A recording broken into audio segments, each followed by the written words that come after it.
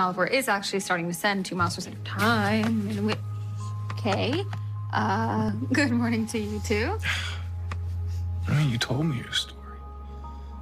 But now, with the memories, I'm just happy to have you back.